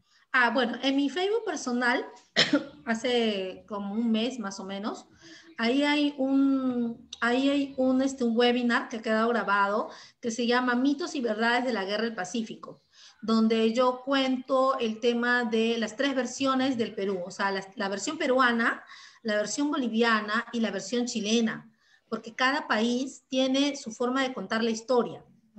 Entonces, si ustedes entran a mi Facebook o al Facebook de Lima Escondida, van a encontrar ahí el webinar que está grabado, que dura una hora y media más o menos, y que, uno, y que yo explico ahí sobre eh, los mitos y verdades. ¿Qué, ¿Qué, de lo que nos cuentan es verdad y qué de lo que nos cuentan es, es un mito simplemente, ¿no? Y que dura una hora y media más o menos. Eso por un lado y pues comentarles de que yo estoy haciendo mis tours, no son virtuales, mis tours son presenciales, pero son grupos pequeños y hago mis tours con respecto a la Guerra del Pacífico. Eh, estoy sacando el tour del presbítero Matías Maestro.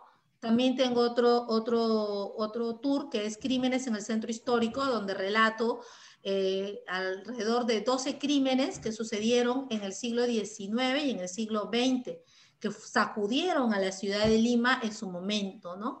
Eh, como lo de los esposos Miro Quesada, el primer descuartizamiento de Lima, ¿no? entre otros. Entonces, eh, pueden entrar a mi Facebook y también al Facebook de Lima Escondida. También tengo TikTok.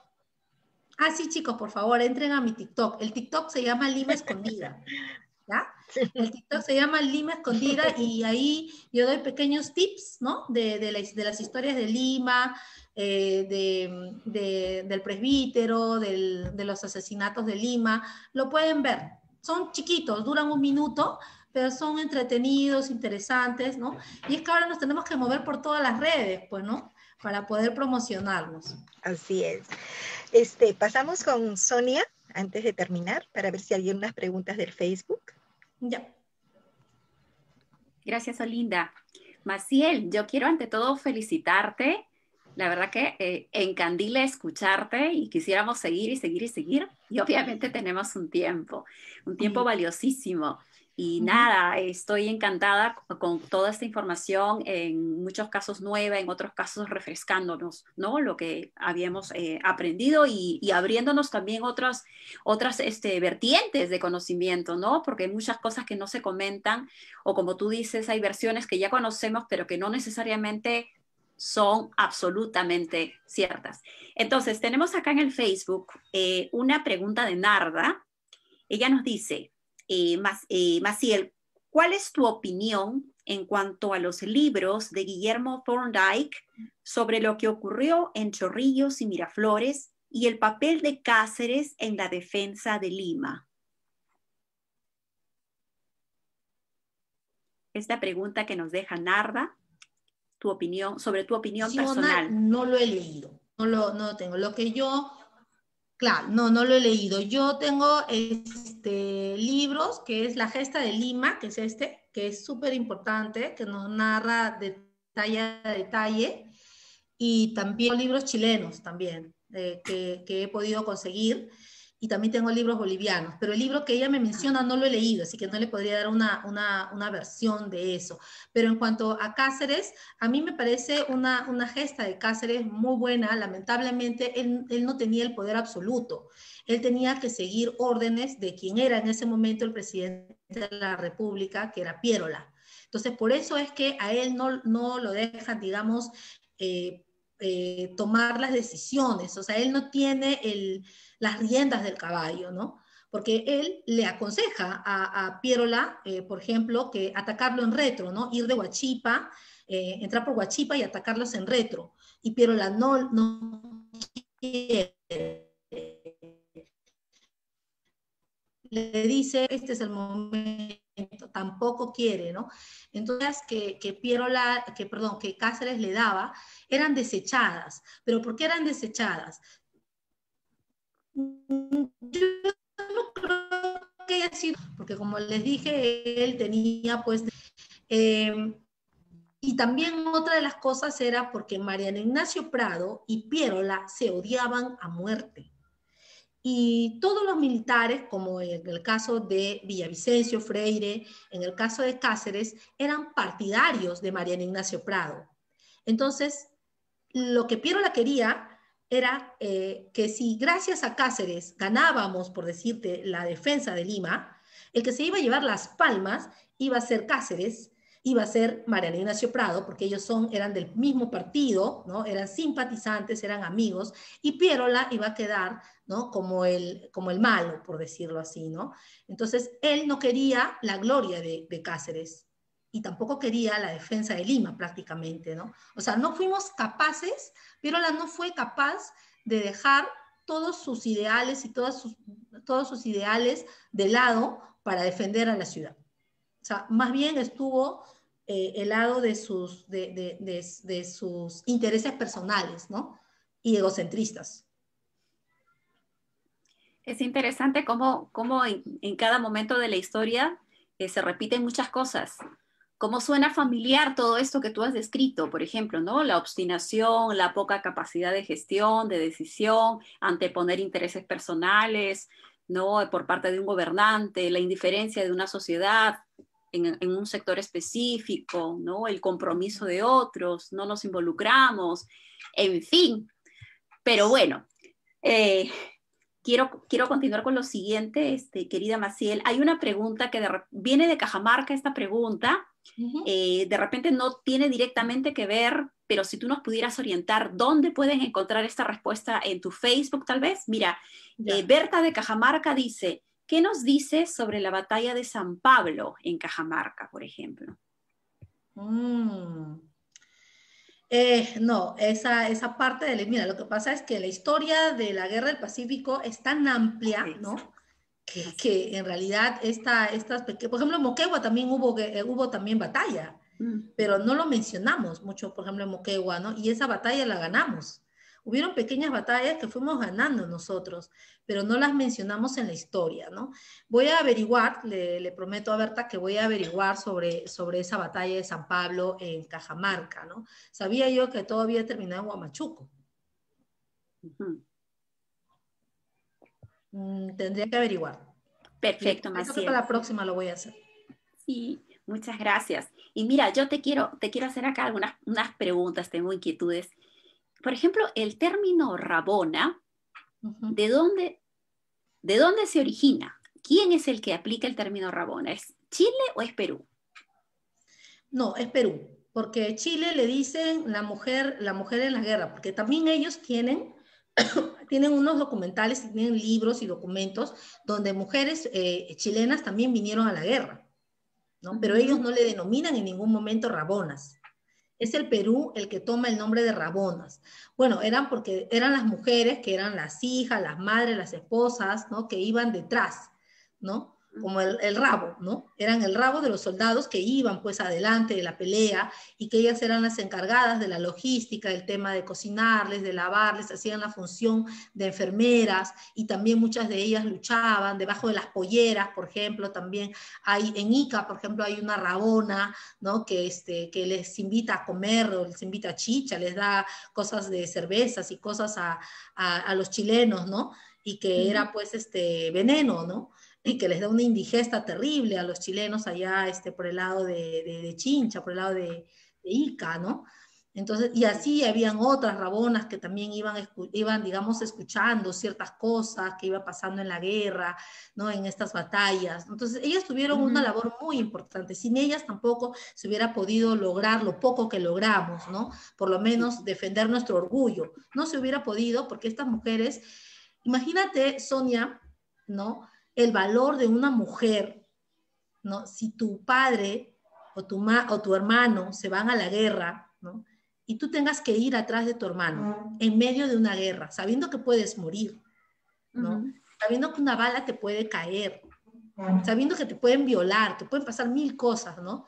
Pero es el amor a tu familiar que va a la guerra por el cual tú sigues esa guerra. Y para eso hay que ser muy valiente, muy valiente.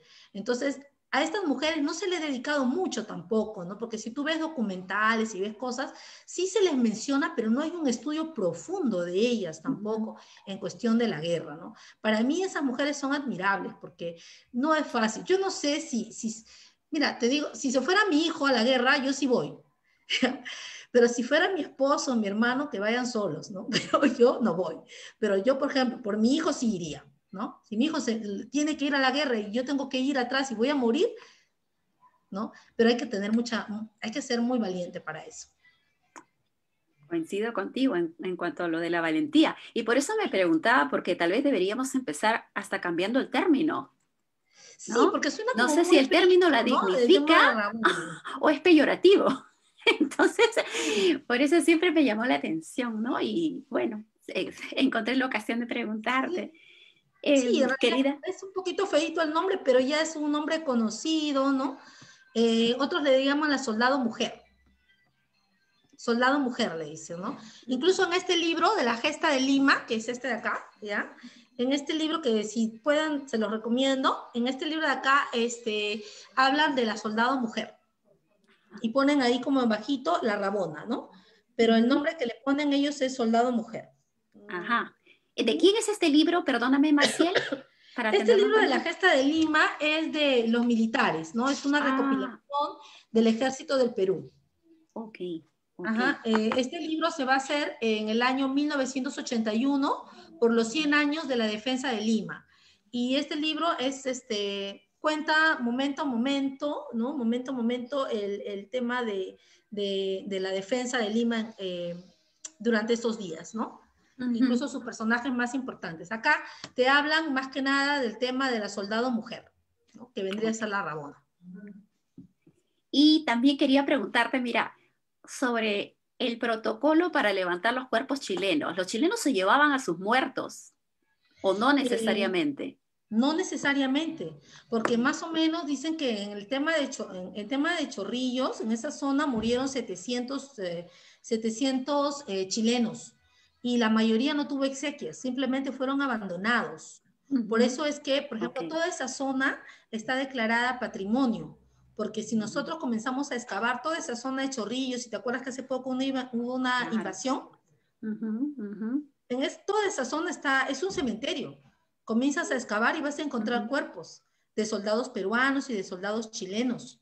Por eso es que toda esa zona está protegida y no han dejado felizmente que se invada porque eso a futuro va... Es un campo santo, ¿no? Es un campo santo finalmente. Un campo santo de gente que, que, murió, ya sea peruana, ya sea chilena, pero murieron por su patria, ¿no? Entonces, la mayoría fue, fue dejada, abandonada, por eso es que este, este joven va a ser encontrado a 40 centímetros de, de profundidad, ¿no? ¿no? No está muy profundo, ¿no? Para hacer un cuerpo, y lo van a enterrar. Ah, y algo, por ejemplo, interesante de este muchacho era que era, eh, él era encargado de la logística y él tenía una libreta. Lo interesante de él es la libreta, donde él iba apuntando día por día, día por día lo que él iba, lo que él iba pasando, ¿no? Las raciones de agua, los momentos buenos, los momentos difíciles que tenían los soldados, por ejemplo. Interesante. Eh, Maciel, cuando nos dices que la corbeta Unión tuvo que ser hundida exprofesamente, entonces estamos hablando también de un grupo que se inmoló. O estamos hablando no, que, bueno. La corbeta sola. Ok, ok, ok, perfecto. Una, era una aclaración. y ahora, em, se habla de que en casa de Aliaga se recibe o se, hay una reunión, ¿no? Con Patricio Lynch. No sé si, si tengas alguna información sobre esto que de alguna manera la familia como que no, no digamos me dio, pero que digamos fue parte de esta entrada pacífica que tú mencionabas, ¿no? Uno de los eventos. fue, una, fue una entrada pacífica entre comillas, ¿no? Realmente la familia Aliaga ha sido una de las familias más importantes de, de, de Lima y eso no es ahorita, eso es de siempre, ¿no? desde hace, desde que ellos llegaron, ¿no? Entonces, eh, si hubo una reunión entre Patricio Lynch, bueno, es que Lynch estaba a cargo de la ciudad. Una vez de que Rufino Torrico deja la, deja la alcaldía de Lima, el que toma la batuta de la ciudad va a ser Patricio Lynch. Y obviamente él tenía que conversar no solamente con los aliagas, sino con todas las familias de la aristocracia limeña de ese momento. Es más, eh, uno de los grandes errores, ¿no? que tiene eh, Pierola es que él, a la hora de irse del palacio, porque se, prácticamente se tiene que fugar, se tiene que irse de ahí, él no se lleva los documentos del gobierno del Perú, los deja en el Palacio de Gobierno, los deja. Entonces, esos documentos van a servirle a Patricio Lynch para coaccionar a todos aquellos vecinos que debían plata de impuestos él va a saber cuán rico era cada vecino, ¿no? Y va a poder extorsionarlos, extorsionarlos de una forma, bueno, les cobra impuestos, ¿no? Entonces, obviamente, el eh, Lynch tenía que reunirse con todos, los, con todos los vecinos importantes de ese momento. Y además, ya una vez tomado Lynch, él, él siendo pues el, jefe de, de, Lima, pues este, a todos les tocaba bajar la cabeza, ¿no? Ahora, específicamente no tengo la información, como me dices, de, que si el señor Aliaga se reunió con Patricio Lynch, ¿no? Pero sí, o sea, él tuvo que haberse reunido con todos porque eh, dejaron muchísimos, eh, Piero la deja muchos documentos con muchísima información de todos los eh, aristócratas de la ciudad de Lima. Todos registraditos. Todos registraditos. Y, y les pide plata. Pero Pierola, ¿cómo, no se, ¿cómo se le ocurre dejar esa información ahí en el palacio? ¿Por qué no se lo llevó? Otro dice, ¿por qué no lo quemó? ¿Por qué no agarró y todos esos documentos los, los quemó? Los, se los llevó, los destrozó. No, los, se los dejó pintaditos para que se los chilenos lo vieran. Por eso es que, este, y miren, ni siquiera aprendimos porque después de eso, este, Pierola vuelve a ser alcalde de, vuelve a ser presidente de la República. Es lo que te dije al principio. La historia se repite en todo tiempo. vuelve a ser presidente de la República del Perú, ¿no? A pesar, mire, todos estos errores que supuestamente, no sé si son errores o son cosas calculadas, pero él en el año, este, en el año eh, de 1885 postula para, para la presidencia y gana. ¿Sabes qué otro que, que, que participa? Nada casualidad. Belaunde. Belaunde, este, Mariano, Aurelio, Vera Belaunde. El único de, todos los que Bolognesi reúne en la Casa de la Respuesta, todos apoyan a Bolognesi en el sentido de, de, luchar hasta el último. El único que no, el único que dice no, no voy a luchar, me voy a rendir, es un tal Belaunde. ¿Ya? Y puedes creer que Belaunde, después de ser el único que se rinde y se va y lo deja a Bolognesi, años después es, es este, diputado de Lima, diputado del Perú. No tenemos memoria. Hay cosas que no sorprenden, ¿no? No sorprenden. y querida Maciel, sin querer abusar, eh, recuérdanos un poquito cómo es que se detiene este ingreso o esta toma de Lima, ¿cómo es que se, origina o se da la retirada? ¿Cómo se libera Lima de Chile? En 1883. Ya esto es con Huamachuco. Eh, bueno, después de esto van a haber varios presidentes, ¿no? Uno de ellos va a ser Miguel Iglesias, quien ya ha cansado de todo este tema, lo que él propone es ya, este, eh, ya terminar la guerra y firmar pues un pacto, ¿no? Firmar un tratado, el Tratado de Ancón. Pero este tratado no lo respeta eh, eh, Cáceres, porque Cáceres eh, dice de que no podemos seguir, este, no podemos este, rendirnos de esa forma, ¿no? Porque el Tratado de Ancón era completamente favorable a, a Chile y nada favorable al Perú. Entonces Cáceres desconoce, desconoce esto. Entonces, ¿qué pasa? Cuando él está en Huamachuco, Cáceres está en Huamachuco, está Leoncio Prado y están peleando, en un inicio el Perú le gana a Chile en Huamachuco, le gana. Pero luego el mismo Iglesias no le manda refuerzos a Cáceres, no le manda municiones, y el mismo Iglesias le dice a Baquedano, a Lynch, a todos ellos, le dice que Cáceres ya no tiene municiones entonces los chilenos al saber que ya no tienen municiones, lo que hacen es regresar y pelear nuevamente en Huamachuco, ya que habíamos ganado, habíamos tenido una victoria, pero el tema también entre Iglesias y Alcáceres también habían peleas y rencillas entre ellos, porque Iglesias quería ya de una vez rendirse y Cáceres no quería. Entonces estaban en ese problema. Entonces regresan, ¿no? Regresan los chilenos que ya se habían retirado, regresan y nuevamente atacan en Huamachuco y pues en esta oportunidad, pues sí, ya ahí sí, este, eh, ya, este, pásale la voz a Marife, ya, ya eh, regresan a Huamachuco y ahí pues ya eh, matan a Leoncio Prado, ¿no? Ya sabemos el repase y todo lo que hay, entonces todo queda pues este, completamente ya, este, terminado con eso y pues ya eh, Cáceres no le queda otra, ¿no? Ya no le queda de otra porque ya su ejército prácticamente había quedado ya terminado. Entonces esa va a ser la batalla y luego de esto sí ya pues no, este, eh, ya los chilenos asumen, ¿no? Eh, retirarse, ¿no? Retirarse. Pero en realidad el tratado que sella ya nuestra, nuestra, nuestro tema de la guerra va a ser el Tratado de Lima, que ya se da en el siglo XX pero los chilenos se van en 1883, ¿no? Ya, digamos, este, el Perú les reconoce eh, Tarapacá, que era lo que ellos más buscaban, Arica, Tarapacá y todas estas, Arica no, todavía no, Tarapacá y toda esa zona. ¿Por qué? Porque Tarapacá producía cinco veces más eh, salitre que el mismo Antofagasta. Entonces, para ellos era mucho más interesante Tarapacá que Antofagasta. Para ellos era mucho más interesante que Valparaíso subiera como puerto principal de Sudamérica y que dejara relegado al Callao, porque siempre Valparaíso y el Callao habían sido dos puertos que estaban en constante competencia por el poder y el dominio económico y comercial eh, del mar Pacífico. Entonces, en el 83, eh, finalmente los chilenos se van. Y en el 84 ya no había ni un solo chileno. Realmente, ¿no? Te, te, te deja esta sensación de tristeza, de impotencia, de indignación y una reflexión, obviamente, ¿no?